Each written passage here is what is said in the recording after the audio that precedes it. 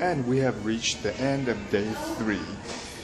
I'm all dressed up for the next scene. This scene will be located in the boardroom.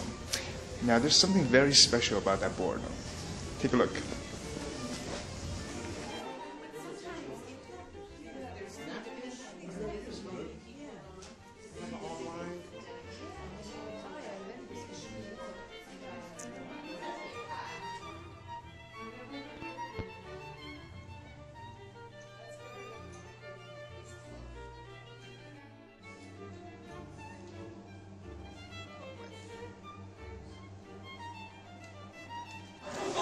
Linda, I am a bit disappointed with your performance.